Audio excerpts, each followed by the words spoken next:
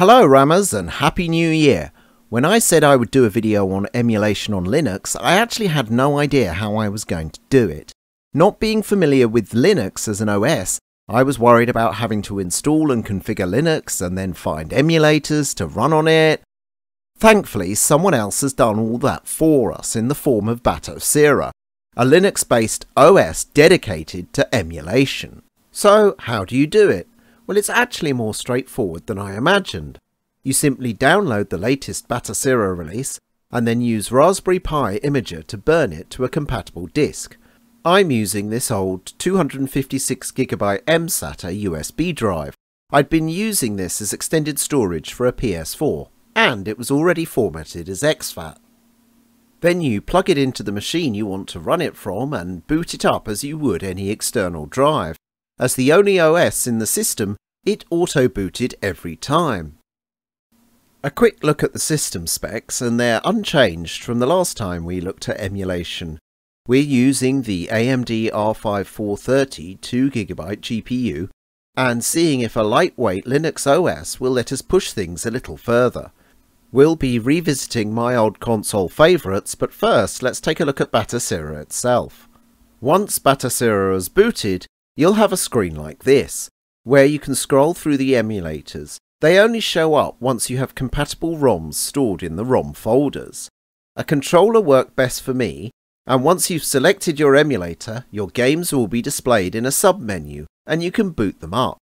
As I'm inexperienced with Batocera, I couldn't always find a way to show the FPS, and I've left most settings on auto, so we can't make a direct comparison to emulation on Windows.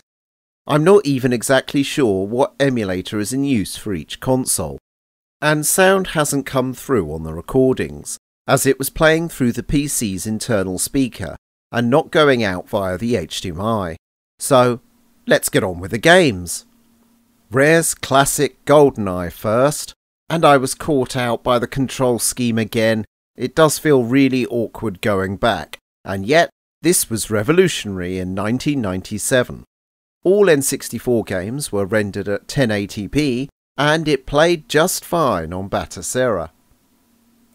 Wipeout 64, and please excuse my terrible driving. I do have a driving license, although if they saw this, they'd probably take it away. Splitting the critics in 1998, it's more of a mashup of the PlayStation Wipeout games than a dedicated entry. Its main draw was four player split screen racing, and there's no issues here in single player mode. Our final N64 title is Jet Force Gemini, a high rated title and another one where the N64's analog controls don't map quite well to a modern controller. Apart from awkward controls, it seems that there are no issues running at 1080p on the R5 430 in Batocera. On to the Dreamcast with launch title Sonic Adventure, and we're running with no enhancements, everything is native, and we're getting a solid 30 frames per second. Graphically, this was beyond what most home computers could manage in 1998. Soul Calibur was another Dreamcast launch title and it's one of my favourite beat 'em ups. And here it is running as nature intended at 60 frames per second. At the time, Edge said this was graphically superior to Sonic Adventure. Batocera uses PCSX2 for PlayStation 2 emulation, and I managed to break it turning some settings on so it no longer booted games, and I had to delete the config file. After that, some things didn't work quite right. I couldn't seem to push the settings as high as the PC version before titles were not enjoyable to play anymore. Shadow of the Colossus has this weird feel like it's running through treacle, even though the frame counter in the top right V says we're getting between 30 to 60 FPS. Still, I could manage the first boss okay, so I guess it's playable. No issues with the first post-modern video game, Metal Gear Solid 2 on Batocera. We're running at a near constant 50 frames per second. A nice experience, if you can get your head round the plot. This is Rhodes! Nah, that doesn't have the same ring to it, does it?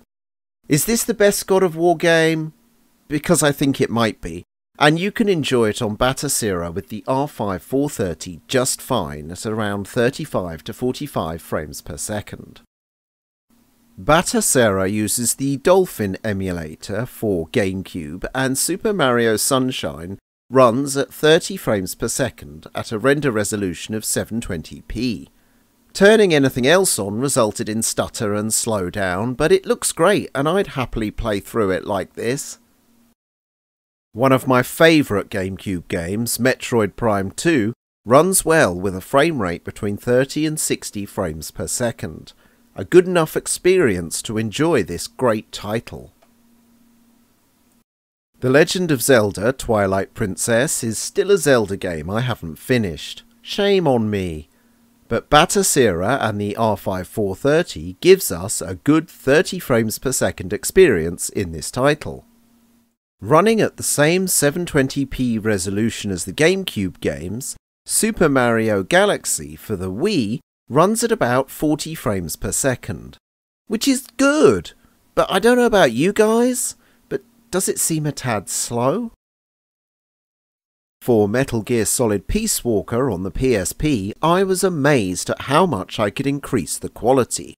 We went from this to this. Does it look better than Metal Gear Solid 2? I think it might.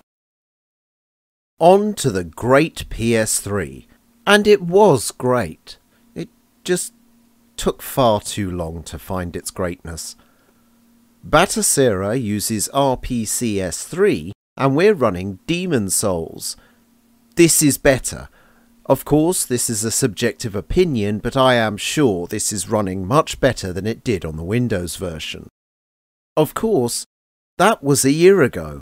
RPCS3 could have had multiple improvements since then, but in comparison, this is a far superior experience. Initially, I found Batocera difficult to use, and I struggled to get the emulators working.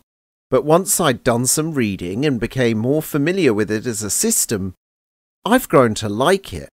I can see this on a low profile system such as my Fujitsu or even a mini PC sitting under a TV in a living area ready to run old favourites, and it'll do a great job. The user interface works well with a controller and once set up you really can just pick it up and play. The i5 6500 seems to be enough for now, but I think we need a little more power in the GPU department, as the R5 430 struggled a bit. So we may take another look at Batocera in the future with a different, more powerful GPU. Thanks for watching, and I'll catch you next time, Rammers.